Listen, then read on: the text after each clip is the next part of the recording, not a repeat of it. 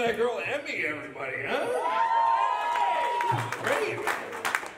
Making me feel old though, you know? Like, uh, when I started doing comedy, I think she was just watching Blues Clues, you know? You know? She's out here performing for you, and I'm like having a tough time building up a stream in the bathroom, you know? God damn. My dad's getting old, you know what I mean? He said to me the other day, he's like, will somebody just get me a, a black mask? I just want a black mask, you know, so I can be like, uh, you know, one of the cowboys I like, like the Lone Ranger. You know, I go into the store and, you know, they'll be like, who was that masked asshole?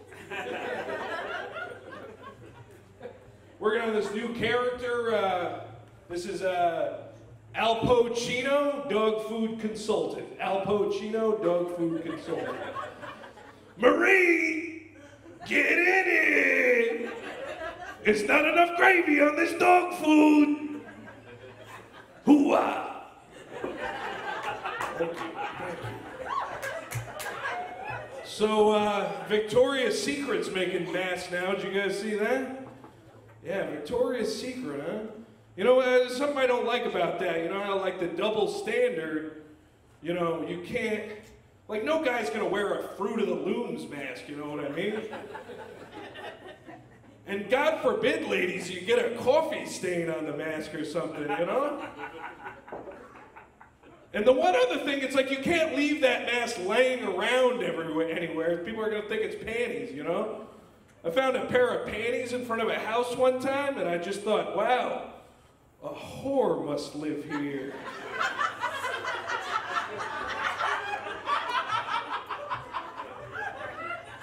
I've been doing a lot of uh, comedy in uh, Fairfield, you know, and I, I think like people got it too good in Fairfield. It made me uh, realize I want to start doing this character, uh, Rodney Fairfield. Uh, boy, I tell you, I got it good. I got it good. You know what I mean? You Get plenty of respect, you know. My wife is faithful. The kids are all good. They go to college. You know what I mean? Boy, I tell you, Rodney Fairfield, everyone. Thank you. Oh, what else is new?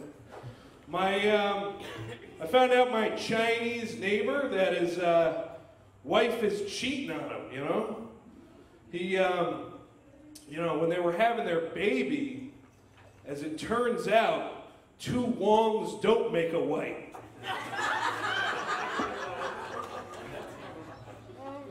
Oh boy.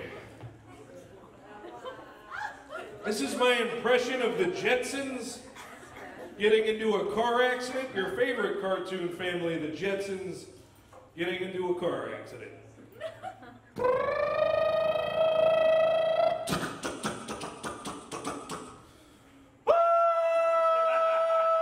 Oh my God, I'm plummeting to my death.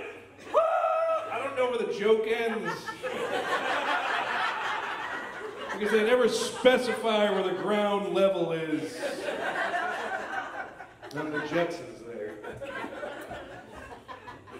I listen to a lot of podcasts. You guys listen to that uh, podcast, Talking Sopranos? That's got to be my favorite right now. Yeah, it's great, right? I just heard on uh, on that one that um, James Gandolfini always uh, hated Jerry Seinfeld. You know, with the you know, with his fucking sneakers and his fucking cereal. You know, which I found hilarious because Tony Soprano ate a lot of cereal too. You know, I could just imagine them as co- college roommates, you know? Jerry, did you eat all the fucking cereal? No, no. Jerry, did you eat all the fucking cereal? Yeah, I did. well, get out of here, because I'm fucking a, a Russian whore in the dorm later. So, uh, hey, what's the deal with gabagool? I, you Italians, I don't know how to say it. Gabagool, gabagool, gabagool, gabagool. Get the fuck out of here. All right, thank you very much, folks. That was fun.